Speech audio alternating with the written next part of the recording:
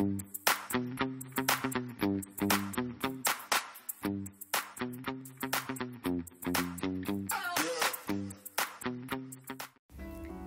สดีค่ะ ยินดีต้อนรับเข้าสู่ช่อง channel กินเที่ยวกับบ้านคุณโอนะคะ วันนี้เรามา how to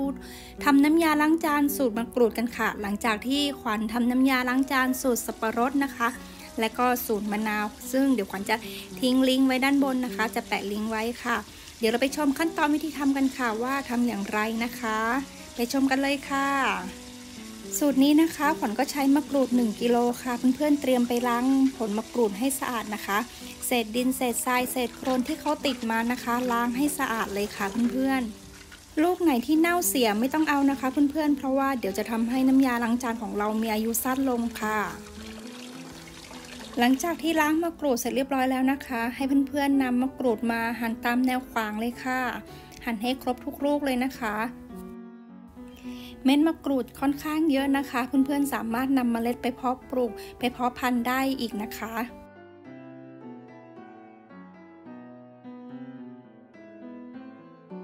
หลังจากที่หั่นเสร็จเรียบร้อยแล้วนะคะ เราก็จะนำไปต้มค่ะเพื่อนๆขวัญใช้น้ำ 1 แกลลอนนะคะ ประมาณ 5-6 ลิตรค่ะ และขวัญใช้หม้อไซส์เบอร์ 28 นะคะเพื่อนๆ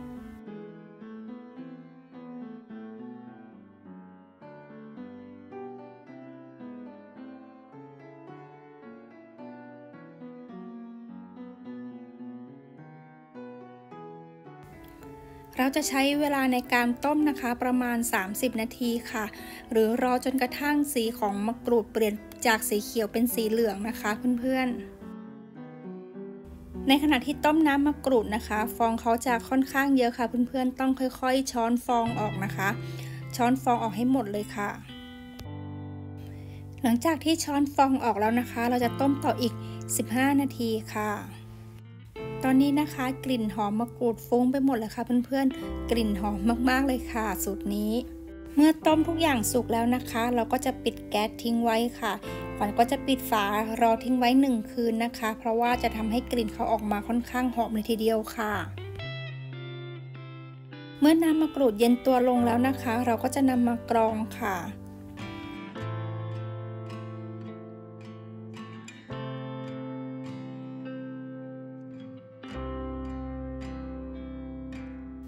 หลังจากที่เรากรองรอบแรกเสร็จเรียบร้อยแล้วนะคะ น้ำเขาก็ยังจะไม่ค่อยใสเท่าไหร่นะคะ เราต้องทำการกรองอีกหนึ่งรอบค่ะ เพื่อให้ได้น้ำใสนะคะเพื่อนๆ หลังจากที่กรองสองรอบแล้วนะคะ ก็จะได้น้ำใสประมาณนี้เลยค่ะ เดี๋ยวเราทำขั้นตอนต่อไปเลยค่ะ ให้เพื่อนๆเท N70 นะคะ ใช้ประมาณ 500 กรัมค่ะ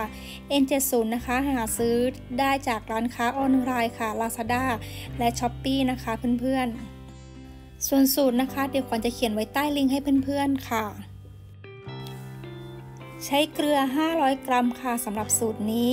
การผสมนะคะสิ่งสำคัญมากๆเลย อยากให้เพื่อนๆแบ่งผสมไปนะคะ เพราะว่าการที่เราเทเกลือใส่ลงไปทีเดียวนะคะทำให้ N70 เนี่ยค่อนข้างหนืดนะคะ แล้วเราจะค้นไม่ไหวค่ะ เพราะฉะนั้นต้องแบ่งเทนะคะ หลังจากที่ผสมไปแล้วนะคะ เราจะเห็นความเปลี่ยนแปลงของ N70 นะคะ จากเป็นสีใสกลายเป็นขาวขุ่นนะคะเพื่อนๆ N70 นะคะ เป็นสารชำระล้างสิ่งสกปรกนะคะ และก็สารช่วยเพิ่มฟองค่ะ ไม่เป็นอันตรายใดๆต่อร่างกายนะคะ นิยมมาทำสบู่แล้วก็แชมพูสระผมค่ะในขณะที่ผสมนะคะหากข้นหนืดนะคะ ให้เพื่อนๆสามารถเติมน้ำเข้าไปช่วยได้ค่ะ ในขณะเดียวกันนะคะ หากคนแล้วมีความรู้สึกว่าไม่ข้นมีความเหลวนะคะ เราก็สามารถเติมเกลือเพิ่มได้เช่นกันค่ะ หลังจากที่เราคนส่วนผสมเข้ากันแล้วนะคะ เดี๋ยวเราจะเอาน้ำมะกรูดที่ต้มได้มาผสมค่ะ น้ำต้มมะกรูดนะคะ หลังจากที่กรองไปเรียบร้อยแล้วถึง 2 รอบนะคะเขาก็จะมีความใสสีเขาก็จะเป็นธรรมชาตินะคะ หากเพื่อนๆชอบสีธรรมชาติของเขาเพื่อนๆก็ไม่ต้องผสมสีค่ะ แต่หากเพื่อนๆต้องการสีเพิ่มนะคะ ก็สามารถเพิ่มได้ค่ะ ซึ่งขวัญก็จะใช้สีเขียวนะคะ ในช่วยในการผสมสีค่ะ ขวัญจะใส่ไป 1 ช้อนโต๊ะค่ะเพื่อนๆ หลังจากนั้นนะคะ คนให้สีเขาเข้ากันเลยค่ะการผสมสีนะคะให้เพื่อนๆเลือกสีเข้มสีอ่อนตามใจชอบได้เลยค่ะ หลังจากผสมสีเสร็จเรียบร้อยแล้วนะคะ เดี๋ยวเราก็จะไปผสมกับ N70 กับเกลือที่เราผสมไว้เรียบร้อยแล้วค่ะ ขั้นตอนต่อไปก็จะเป็นการเอาน้ำต้มมะกรูดที่เราผสมสีเรียบร้อยแล้วนะคะ เราก็จะเทลงส่วนผสมของ N70 กับเกลือค่ะขั้นตอนนี้สำคัญมากๆ เช่นกันค่ะ ให้เพื่อนๆ ค่อยๆ ใส่ทีละนิด แบ่งผสมทีละนิดนะคะ เพราะว่าถ้าใส่ทีเดียวเยอะ ๆ นี้จะทำให้ N70 เนี่ยเขาจะค่อนข้างละลายช้านะคะ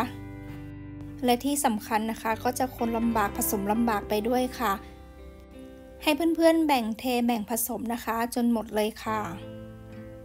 ในขณะที่ผสมอยู่นะคะ กลิ่นเขาจะค่อนข้างหอมมากๆเลยค่ะ กลิ่นมะกรูดคะขวัญต้องขอขอบคุณช่องมาดามเจนนะคะ ที่ทำให้เรามีน้ำยาล้างจานสูตรมะกรูด และน้ำยาล้างจานสูตรมะนาวมีไว้ใช้หลากหลายเลยค่ะ เพื่อนๆสามารถไปรับชมช่องพี่เขาได้นะคะ เพราะว่ามีทั้งอาหารทั้งขนมนะคะน่าทานทั้งนั้นเลยค่ะ หลังจากที่เราคนส่วนผสมทุกอย่างเข้ากันเป็นที่เรียบร้อยแล้วนะคะ สีก็จะออกมาประมาณนี้ค่ะ เป็นไงคะเพื่อนๆ สีค่อนข้างสวยเลยใช่ไหมคะ น่ากินมากๆเลยแต่กินไม่ได้นะคะ เพื่อนๆ เดี๋ยวเราจะทิ้งเขาไว้หนึ่งคืนนะคะ เพื่อให้ฟองเขาหายไปค่ะ หลังจากทิ้งไว้แล้วหนึ่งคืนนะคะ สีเขาก็จะเปลี่ยนเป็นสีเขียวเข้มแบบนี้ค่ะเพื่อนๆ ให้เพื่อนๆหาขวดหาภาชนะมาใส่ได้เลยค่ะ เป็นยังไงบ้างคะ ไม่ยากเลยใช่ไหมคะ เพื่อนๆลองไปทำดูค่ะ น้ำยาล้างจานสูตรมะกรูดมีกลิ่นหอมนะคะทำเองใช้เองค่ะ ประหยัดดีค่ะ ขอบคุณค่ะที่ติดตามชมจนจบคลิปค่ะสำหรับเพื่อนใหม่ๆ ที่ยังไม่ได้ติดตามขวัญฝากกดติดตาม และกดไลค์กดแชร์ให้ขวัญด้วยนะคะ ขอบพระคุณมากๆค่ะ คลิปหน้าเจอกันค่ะ